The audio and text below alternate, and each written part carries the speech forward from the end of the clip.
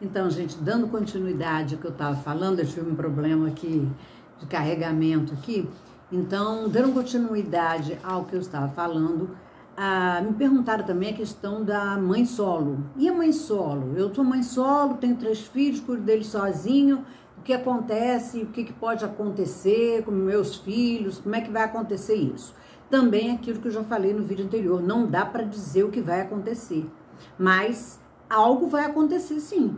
Com cada filho, inclusive, de forma diferenciada. Por quê? Porque a gente nunca sabe. Os filhos nascem em momentos diferentes da vida do casal. Muitas vezes, a, essa mãe solo ficou sozinha a partir do segundo filho, ou a partir do terceiro, ou a partir do primeiro né? Então a gente não sabe, eu não sei porque foi uma pergunta feita. É, então eu não sei da história de vida dessa pessoa para afirmar qualquer coisa que o que vai acontecer, mas vai sempre acontecer alguma coisa, porque essa, inclusive, a, essa, esses filhos eles podem eleger alguém na casa ali como pai, né? Podem eleger alguém ali como pai. Pode ser um avô, um tio, pode ser uma outra pessoa e além disso a questão da mãe solo, a mãe solo, o que, que ela, ela, mais que nenhuma delas, ela tem que trabalhar para sobreviver, já que ela não tem, muitas vezes não tem nem a pensão do marido para os filhos. Então, e às vezes também vem de um relacionamento ruim que ela teve que abrir mão desse relacionamento e ficar sozinha. Existem muitas questões, como a gente sabe, muitas possibilidades. Agora, primeiro, a criança pode eleger alguém aí nessa casa, né? Como eu disse alguém nessa família aí, tio, avô. Mas além disso, para além disso, tem a questão do que a criança, a mãe, ela trabalha. E se ela trabalha, ela não tem só os filhos para olhar. O olhar dela não fica só voltado para esses filhos. Ele, ele, esse olhar fica voltado também para o trabalho dela, principalmente porque ela precisa sobreviver. Ela vai trabalhar. E se ela vai trabalhar, ela sai de casa, ela não fica totalmente por conta desses filhos. Ela não fica agarrada, fazer uma colagem ali com aquelas crianças, né? Ela vai ficar é, ela, os filhos vão perceber que ela tem um outro olhar, que o, o olhar dela não é só para eles, mas que ela tem outro olhar, que tem alguma coisa que se interessa, que é pela qual ela se interessa, né? Que não seja só os filhos. Isso é muito importante para esses filhos também. E a questão do momento diferente na vida, cada um vai perceber de um jeito. Cada filho que nasceu numa determinada época, ele vai perceber aquela, aquela mãe de uma forma. Porque ele nasceu em momentos diferentes da vida dessa desse casal, se estavam na separação, se não estavam, né? Cada um vai agir do seu jeito, vai arranjar a sua forma de lidar com sua dor, como eu já expliquei. Nesse período da, do imaginário, que nesse problema aí da questão edipiana, que ocorre entre 4, 6, 7 anos, a criança vai, vai ter angústia, angústia de castração, falta da mãe. Falta, vai sentir essa falta, vai ver que ela não é completa, que ela não completa essa mãe. E que essa mãe tem alguém para além dela. Pode ser um marido em casa, pode ser um namorado, pode ser um trabalho. Algo vai chamar a atenção dessa mãe para além da, da criança. E isso é importante para a criança também saber disso para fazer não haver essa colagem. Como essa criança vai lidar com isso depois na vida adulta, porque aí ela vai recalcar, formar o seu inconsciente e a partir daí, a partir daí, isso, é, ela esquece toda essa vivência, essa castração que dói, que é doído, ela tem que abrir mão da mãe, porque ela sabe que a mãe não pode, né? Não pode ter. E isso também vai estar na linguagem, vai estar na linguagem da criança, na fala. E ela vai expressar isso depois mais tarde, porque ela isso vai voltar para ela. Ela vai esquecer momentaneamente, mas quando chega na fase da puberdade, que ela vai entrar na adolescência, o que acontece? Ela vai reviver com os namoradinhos, é o encontro com o sexual. Nesse encontro com o sexual, ela vai reviver uma essas questões edipianas, que foi a forma como ela se arranjou aí na vida para sobreviver àquela dor que aconteceu lá, entre quatro, de quatro anos até seis, sete anos, né? Ela vai viver isso aí e ela vai reviver, mas ela não vai lembrar do que aconteceu, mas ela vai reviver. Cada um revive do seu jeito. Vai ter aí para essa criança, para esse adulto, ela vai fazer um sintoma no lugar. E essa mãe também, tam, é, assim, voltando a falar, né? A mãe não tem que se sentir responsável, porque a gente está focando aqui a questão da mãe. Então, a questão da mãe, nesse triângulo edípico aí, onde não tem o pai e ela é solo. Então, ela vai. Essa mãe também não tem que se sentir culpada. Muitas vezes sai de um relacionamento porque não, for, não tá bom, e é, eu acho, eu, na minha opinião particular, acho que é melhor ficar sozinha do que ficar num relacionamento ruim e aqueles filhos, três filhos, vendo essa problemática de briga dentro de casa o tempo inteiro. Até preferir ficar sozinha. Às vezes uma pessoa que, que é tóxica, faz mal, o marido que, que bate, mil coisas podem acontecer. Ela não tem que se sentir culpada porque o casamento não deu certo, porque porque algo aconteceu aí e ela teve que privar as crianças desse pai. Mas esse pai também tem responsabilidade sobre o filho. Uma coisa é você se separar da mulher. Né? E outra coisa é você se separar do filho. O filho não tem nada a ver com isso. Não compete a ele. Não, nada ali está relacionado com o filho. A questão é do casal. Só que há uma confusão muito grande em relação a isso. E o que, é que acontece? Os pais acabam jogando os filhos uns contra os outros ali, uns contra o pai, outro contra a mãe e vice-versa, e o pai não dá pensão, começa a falar e aquilo acaba acontecendo dessa forma mesmo e, e tudo e são os tropeços que eu falei. A questão do Édipo, há tropeços, há um relacionamento de casal. Se há um relacionamento de casal, não é perfeito, né? A gente sabe que não é perfeito. Depois na fase adulta, a pessoa, o filho conhece né, um novo amor, vai casar, vai ter filho, vai ver, ela, ele vai se ver naquela mãe, naquele pai que teve problemas na questão de piano. São esses tropeços que eu falei que o Édipo causa. É, me perguntaram também, uma moça me perguntou que ela nunca teve pai, ela não consegue se relacionar com ninguém. O pai não foi presente na vida dela, como ela desejava. Porque aí, gente, a questão de não estar presente na vida, isso não foi um caso que eu atendi. Foi uma pergunta que me foi feita, então eu não sei a história dessa pessoa.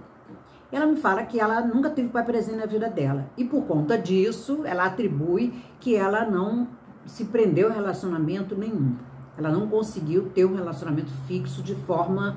É, sempre eram relacionamentos que acabavam, acabavam e ela estava sozinha, já com uma idade né, mais avançada, assim, e ela não conseguia firmar um relacionamento. Que talvez fosse por isso, talvez seja assim mas eu não posso afirmar porque você, para dizer alguma coisa num, num, caso clínico, você tem que acompanhar aquela pessoa. Você tem que formar ali com ela se ela volta a este assunto, se esse assunto é repetido, repetitivo na vida dela. Se, sabe, você forma, você vai, se for, se for isso a causa do problema dela, que ela tem hoje, de não firmar relacionamento nenhum na fase adulta, que é o que eu falei, é o estrago que o Édipo fez lá atrás, mas que é preciso, é constitucional da estrutura humana, vai acontecer para todo mundo, ninguém vai ficar ileso a isso não, mas acontece. A vida não é perfeita por conta dessas coisas, por conta de coisas que são recalcadas, por conta de problemas que acontecem na infância, mas você também não pode prescindir de um pai e de uma mãe, porque eles bem ou mal te constituem, te colocam na linguagem. Se você não tem o pai e a mãe, como é que você entra na linguagem? Né? Alguém vai ter que colocar, vai ter que fazer esse papel de cuidador, né? esse papel de, de transmitir, né? passar essa linguagem para essa criança. Então, não tem como se ver livre dessa problemática que pode acontecer ali. Não tem como. Esses tropeços, e são muitos, muitos filhos, por exemplo, que não se casam nunca porque estão presos à mãe ali e ficam em casa tomando conta da mãe, até muitas vezes até o final da vida da mãe. Tem casos em que também eles não se relacionam bem, isso vale pra, tanto para o homem como para a mulher, viu gente? É, muitas vezes ele também não se dá bem com mulher nenhuma porque também não se dava bem com a mãe. Outras vezes ele, ele, ele se dava tão bem com a mãe que não encontra uma mulher que possa substituir essa mãe. Porque o que ele quer a fantasia dele, porque a fantasia, como eu falei, continua voltando ao que eu falei lá atrás, né? A, essa, essa, o imaginário não é porque a pessoa, um adulto, que o imaginário acabou, não. A fantasia que ela criou em torno desse familiar, desse casal aí, pai e mãe, continua na cabeça dela, continua na forma inconsciente. Ela não lembra, mas ela atua na vida assim. Ela substitui, ela faz uma metáfora que a gente fala. Ela substitui aquele, aquela questão que ela viveu com o pai e a mãe, ela substitui com o parceiro, o futuro parceiro da fase adulta. Ela substitui, faz uma metáfora que a gente diz, né? Uma substituição. E ela passa a ter problemas ali no casamento e tudo mais, ou no relacionamento, ou no namoro, seja lá qual for. E também depende do casal, se é homo ou heterossexual, independe. E lembrando também que a gente traz, né? A gente quando casa, quando tem um companheiro, vai viver junto, você traz as suas problemáticas de infância, você traz, traz a sua criança junto com você. Ela não vai embora assim. Essa criança que você viveu, esse imaginário, continua lá. Continua fazendo parte da sua vida, da sua história. Você está em outro momento na vida, mas o imaginário está ali presente.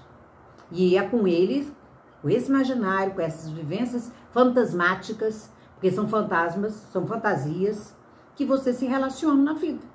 Né? Você se relaciona trazendo isso dentro de você. Essa vivência está ali sempre falando.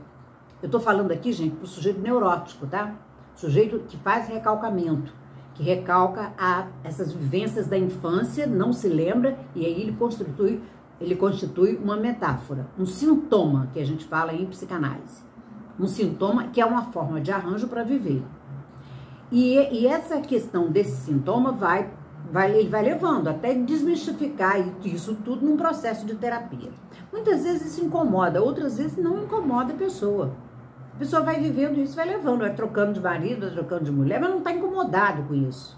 Para ele é, é assim mesmo, ou para ela, né? Também isso depende se a pessoa, a pessoa só busca terapia, só busca análise, quando esse arranjo que ela fez para viver balança. Balança e dar, traz angústia. Aí, sim, ela vê que aquilo ali não está dando certo, que ela não está se arranjando, que ele começa a incomodar. E aí sim ela vai buscar análise. Não é qualquer um que busca análise e não é sempre que se busca análise. E muitas vezes a pessoa também convive com o problema. Convive com o problema numa boa. Ninguém é obrigado a fazer análise. Agora, eu, eu enquanto sujeito que vivia uma análise e que tive problema, igual a todo mundo tem problema, né? Porque ninguém está ileso disso. A falta é muito difícil, essa questão do sujeito ser um sujeito faltoso, ser um sujeito castrado, divide o sujeito. Essa divisão que eu falei, onde ele recalca e forma um consciente, formam dois sujeitos num só. Um sujeito que é o pensante, que é esse que eu estou aqui falando, que, que, que tem o saber, que, né, que tem os conhecimentos e tudo mais, e faz um sujeito dentro de você que é um sujeito inconsciente. Esse outro sujeito, você não conhece ele. Você só sabe quando ele se apresenta em alguns momentos da sua vida através de, de é, atos falhos, esquecimentos, trocas de nomes. Muitas vezes você sai para ir para um lugar e você acaba chegando em outro lugar sem nem se tocar. Isso é o quê? É um outro sujeito falando em você. Então, esses dois sujeitos nos mostra que nós somos divididos. Divididos entre consciente e inconsciente. Nós somos castrados. E só vive isso quem é neurótico. O psicótico não vive assim. Não vive isso porque ele, ele não, subjugou, não se subjugou ao desejo do outro. Ele não se assujeitou ao desejo do outro. Então ele é puro inconsciente. Ele não tem essa coisa do, do recalcamento, não. É diferente para o psicótico. Então, do que eu estou falando aqui, eu estou me referindo ao sujeito neurótico, que é aquele que não tem surtos, tá? Tipo esquizofrenia, paranoia, né? Esses aí, a história é diferente, funciona diferente para eles. O ético deles é diferente. Nem se pode chamar de ético, porque ele não faz esse processo. E então é isso, gente. Tem várias possibilidades. Isso que eu quero esclarecer aqui nesse vídeo de hoje, que ficou quebrado. Não sei o que aconteceu com o vídeo que eu não consegui fazer. Tive que dividir esse vídeo em duas etapas, mas tá bom, isso é assim mesmo, né? Foi bom que foi, em vez de fazer um vídeo maior, eu fiz dois menores. Então, é isso aí. Todos passam por esse processo e é diferente para cada um pode ter um pé ali naquele Édipo, o Édipo é o tropeço da nossa vida. É a nossa pedra no caminho, sempre vai ser. Para todos. Agora depende como você vai lidar com essa pedra. Se você vai fazer uma construção, você vai chutar essa pedra ou você vai ficar empacado ali naquele lugar.